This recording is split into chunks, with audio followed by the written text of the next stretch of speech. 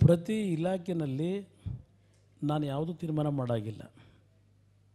ಸರ್ಕಾರ ಸಮರ್ಥವಾಗಿ ನಡೆಸಲಿಲ್ಲ. ಇವ್ರು ಹೇಳ್ತಾರಲ್ಲ, ಸಮರ್ಥವಾಗಿ ನಡೆಸಲಿಲ್ಲ. ಅವತ್ತು ಕಾಂಗ್ರೆಸ್ಸು ಜೆ ಡಿ ಎಸ್ನ ಸರ್ಕಾರ ರಚನೆ ಆದಾಗ ಅಟ್ಲೀಸ್ಟ್ ಕನಿಷ್ಠ ಸೌಜನ್ಯಕ್ಕೆ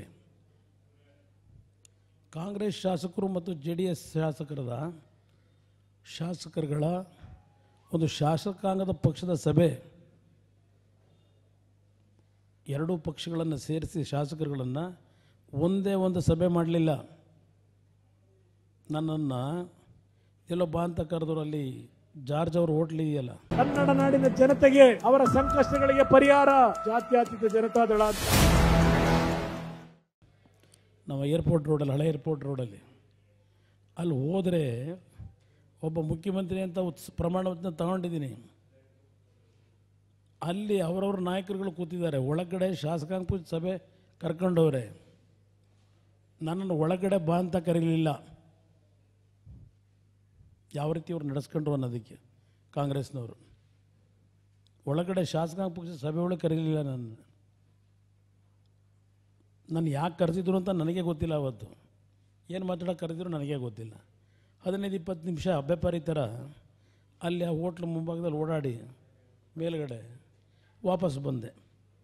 ಇದು ನನ್ನನ್ನು ಯಾವ ರೀತಿ ಪ್ರಾರಂಭಿಕ ಹಂತದಿಂದ ನಡೆಸ್ಕೊಂಡಿದ್ದಾರೆ ಕರ್ನಾಟಕದಲ್ಲಿ, ನಾನು ರಾಹುಲ್ ಗಾಂಧಿಗೆ, ಸೋನಿಯಾ ಗಾಂಧಿಯವರಿಗೆ ದೋಷ ಕೊಡೋದಿಲ್ಲ. ಇಲ್ಲಿಯ ಕರ್ನಾಟಕದ ಕಾಂಗ್ರೆಸ್ನ ನಾಯಕರುಗಳು ಯಾವ ರೀತಿ ನಡೆಸ್ಕೊಂಡ್ರು? ನಾವು ಮಾಡಿದ್ದು ನಾವು ಮಾಡಿದ್ದು ಮುಖ್ಯಮಂತ್ರಿ ಕುಮಾರಸ್ವಾಮಿ, ನಾವು ಬೆಂಬಲ ಕೊಡದಿದ್ದರೆ ಎಲ್ಲ ಆಗ್ತಿದ್ದ? ನಾವೇನು ಇವ್ರು ತರಚಿಟ್ಕೊಂಡು ಹೋಗಿದ್ನ. ಮಾಡ್ರಪ್ಪ ನಾನು ಮುಖ್ಯಮಂತ್ರಿ ಅಂತೇಳಿ. ಯಾವ ಜೆ ಡಿ ಎಸ್ ಪಕ್ಷದ ಬಗ್ಗೆ ಬಿ ಜೆ ಪಿ ಬಿ ಟೀಮಿಗೂ ಇದು ಇದಕ್ಕೆ ಓಟ್ ಹಾಕಬೇಡಿ ಅಂತ ಹೇಳಿ ನಮ್ಮ ಕುತ್ತಿಗೆ ಕೂದಂಥ ಇಂಥ ಅಪನಂಬಿಕೆಗೆ ಇರತಕ್ಕಂಥ ಪಕ್ಷಕ್ಕೆ ಅದೆಂಥದ್ದು ದೇಶದಲ್ಲಿ ಸೆಕ್ಯುಲರ್ ಐಡೆಂಟಿ ಉಳಿಸ್ಬೇಕು ಉಳಿಸ್ಬೇಕು. ಇದನ್ನು ಹೇಳ್ಕೊಂಡು ತಿರುಗ್ತಾರಲ್ಲ. ಅದು ಉಳಿಸೋಕ್ಕೋಸ್ಕರ ಇವ್ರಿಗೆ ಹೋಗಿ ತಲೆ ಕೊಟ್ಟು. ಕೊಟ್ಟಿದ್ದಕ್ಕೆ ಯಾವ ರೀತಿ ನಡೆಸ್ಕೊಂಡ್ರು ಇದು ಒಂದು ಭಾಗ. ಇನ್ನು ಆಡಳಿತ ನಡೆಸಲಿಕ್ಕೆ ಈಗಲೇ ಹೇಳಿದೆ ಏನೇನು ನಡೆಸ್ಕೊಂಡ್ರು ಅಂತ ಹೇಳಿ. ನಂತರ ಇವರು ಸಿದ್ಧವಂತರ ವಿಶ್ರಾಂತಿ ಹೋದ್ರಲ್ಲ, ಚುನಾವಣೆ ನಡೆಸಿ ಪಾಪ ದೇಹದ ಮೇಲೆ ಪರಿಣಾಮ ಆಗಿದ್ದಲ್ಲ, ಶ್ರಮ. ವಿರಾಮ ಪಡೀಲಿಕ್ಕೆ ಸಿದ್ಧವನಕ್ಕೆ ಹೋದ್ರಲ್ಲ, ಸಿದ್ಧವನದಲ್ಲಿ ಕೂತು ಹರಿದ್ರಲ್ಲ ಔಷಧಿ. ಸರ್ಕಾರ ಗಟ್ಟಿ ಮಾಡೋಕ್ಕೆ.